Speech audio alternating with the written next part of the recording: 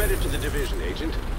I look forward to working with you once you get back to base. This has been a huge victory for us. Good to have you back, Mr. President.